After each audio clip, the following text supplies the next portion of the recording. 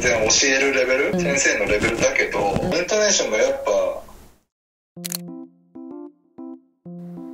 もう日本から帰国してから3年目？いやもう4年目になりました。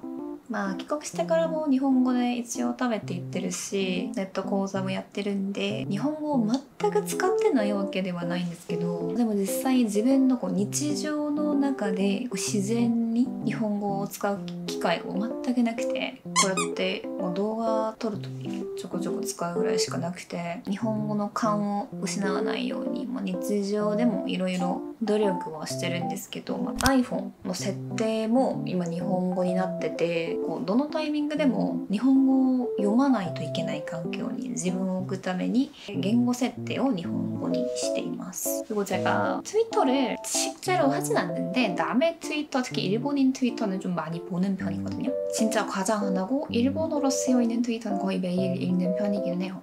내용은 상관없이 그냥 일본인들은 실제로 어떤 말을 많이 쓰는지 어떤 단어가 또 유행을 하는지 이런 걸 보면서 좀 좋은 표현이 있다 싶으면은 그걸 따로 메모해 놓고 진짜 괜찮은 문장이 있으면 강의에도 써먹기도 하고. 그리고 이게 제일 중요한 포인트인데 일본인 친구들이랑 카톡이나 라인 뭐 전화 통화도 가끔 하긴 하는데 그런 걸로 일부러 일본어로 좀 많이 하고 있죠. 친구가 많은 편이 아니라 그럼 말 나온 김에 제가 일본인 친구한테 한번 전화를 걸어보겠습니다. 일본어 실력을 체크 체크를 좀 받을 겸 긴조してきた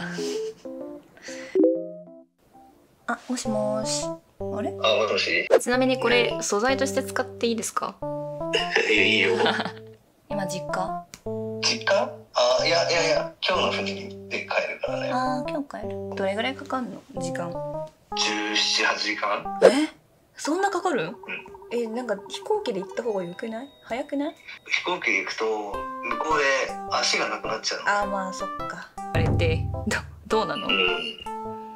多少？多少？あー、やっぱり。多少。まあ全然、あんな違和感もないけど。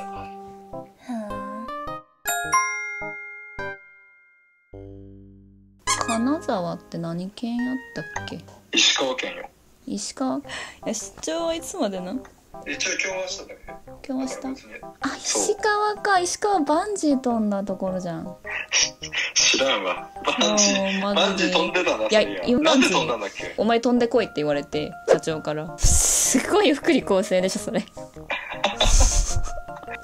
おおちょっと人間私も日本語で喋り出すとちょっとなんかきつくない？喋り方でも、もともときついよ。それ知ってていないでしょ。まあ私喋れますかまだ全然余裕じゃない全然余裕ありがとうございますまだね。まだねギリギリね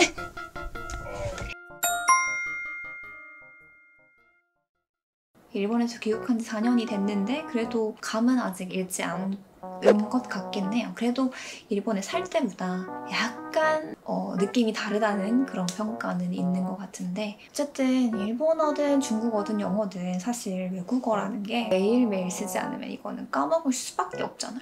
사실 저도 캐나다에서 어학 연수를 하고 왔어요. 영어를 배우고 왔는데 그 당시에는 영어로 문제없이 생활을 했거든요. 뭐 학교도 다니고 과목으로도 가고 문제없이 했는데 거의 10년 가까이 됐죠. 10년이 지난 지금은 어쨌든 일본어를 꾸준히 해야 한다는 거는 또 제가 제일 잘 알고 있고 느끼고 있기 때문에 일본어를 생활할 수 있는 습관화할 수 있는 강의 교재를 올 초부터 기획을 해가지고 얼마 전에 시원스쿨에서 오픈을 했는데 이름하여 일본어 말하기 루틴 만들기 66 challenge 말 그대로 66일 동안 한 20분 정도만 투자를 하면 일본어 공부하는 게 이제 그냥 나의 일상 습관이 되어 있을 거예요. 근데 왜 하필 66일이냐? 같은 행동을 평균 한 66일 동안 반복을 하고 나면 그 이후부터는 뭐 생각이나 의무감이 아니라 그냥 반사적으로 그 행동을 한다고 하더라고요.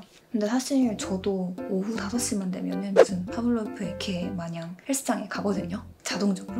진짜 맞는 말 같긴 해요. 아무튼 이번 교재는 실제 네이티브들이 이제 밥 먹듯 사용하는 패턴을 구성을 했는데 실용적이지만 어렵지 않은 문장들로 구성이 되어 있고 예를 들면 생각보다 뭐뭐하지 않아요. 思ったより 어쩌고저쩌고 ないです 이거 하나만 패턴을 좀 익혀놓고 나면 思ったより高くない, 무즈카스구나이, 오이스구나이 이런 식으로 활용을 할 수 있겠죠. 1일차는 비교적 쉬울 거고 66일차는 조금 어렵긴 할 거예요. 이렇게 많이 어렵진 않지만 어떻게 보면 또 뭐 저 강의 냈습니다 하는 홍보긴 한데 사실 어떤 외국어든 66일 정도 투자를 하면 공부하는 게 습관이 되어 있다고 하니까 올 여름에는 좀 미뤄뒀던 일본어 회화 마스터를 목표로 좀 달려보면 어떨까 합니다.